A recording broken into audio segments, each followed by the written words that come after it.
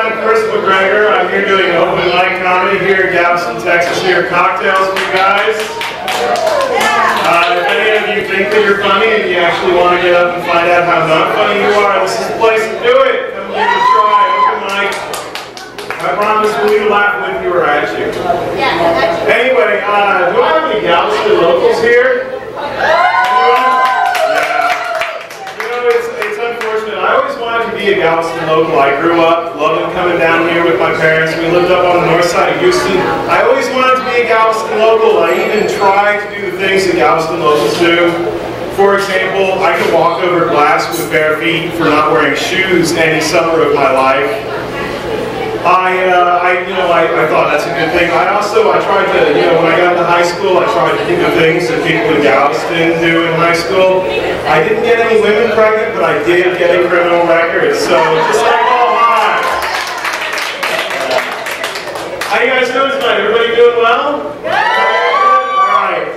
I don't believe any of you. You guys look a little sleepy, to be honest with you. Yeah, a little sleepy.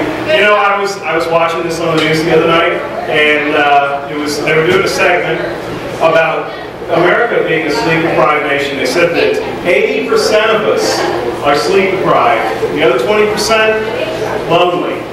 But sleep deprived people sleep deprived people make mistakes, folks, and a sleep deprived country makes mistakes. We start electing idiots into office, and they're not getting any sleep either.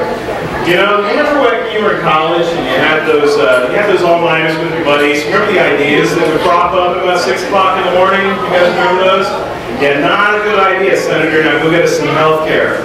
Oh, oh, a flag burning amendment. You say, what do I think about that? How about you go get a good night's sleep and fix New Orleans, get us the fuck out of Iraq, and wake up about global warming, you know, sleep, son of a bitch. Sorry, I'm, I'm a little sleepy myself.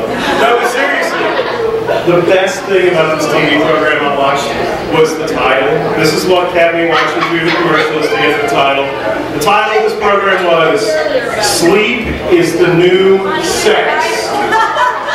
And let me tell you something, that is something I can get behind because ladies, my sleep life is fantastic.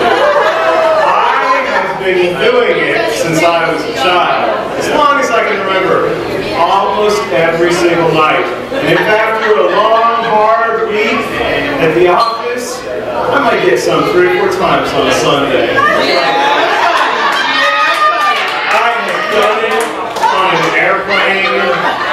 I have done it on a train. I could do it in a boat, and folks, I could do it with a goat.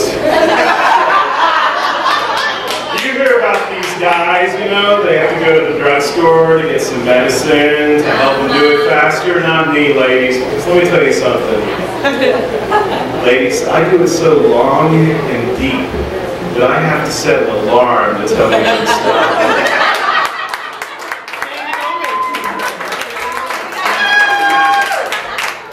And if that alarm goes off and I'm not done, I just smack the clock and go back in there for another minute. Late to work, forget it.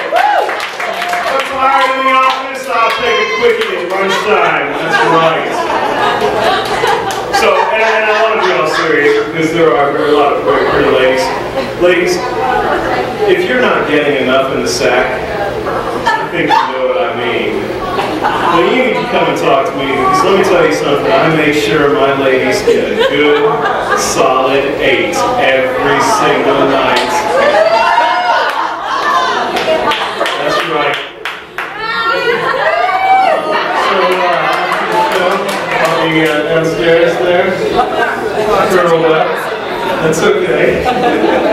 I'll be downstairs, curled up. You just uh, come cuddle up to me, spoon up to me, tell your, tell me your name, and uh, yeah, we'll sleep together.